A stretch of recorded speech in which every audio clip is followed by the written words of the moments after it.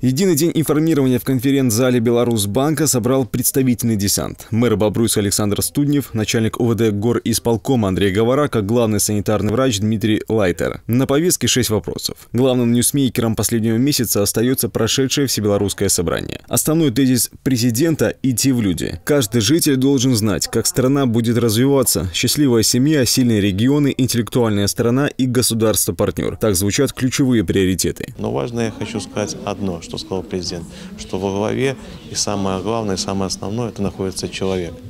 Именно человек, который создает в первую очередь и благо для жизни, и для блага для своей семьи, для своей страны, для своих городов и сел. В первую очередь зависит от нас, нашей работоспособности, от нашей уверенности и от нашей любви к нашей стране. В преддверии весенних каникул у школьников остро стоит проблема безопасности. Родители должны напоминать своим чадам о правилах поведения и повторять номера экстренных служб. Пал сухой растительности тоже горячая тема. Впереди потепление. В 2020 в стране произошло 447 таких пожаров. Площадь повреждения более 226 гектаров. Погибли два человека. Один из них – житель Бобруйска. Сжигание сухой растительности на корню запрещено, это административная ответственность, поэтому нашим гражданам рекомендую, конечно же, не палить на территории своего домовладения, если утилизируется мусор, а, значит, для этого должно быть соблюдаться требования безопасности. Безветренная погода, должны быть первичные средства пожаротушения на случай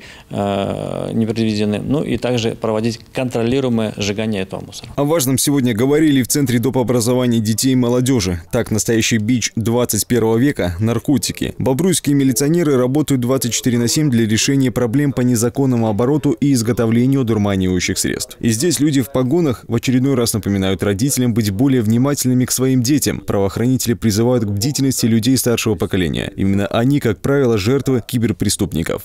Такие встречи нужны, они проводятся ежемесячно, в первую очередь.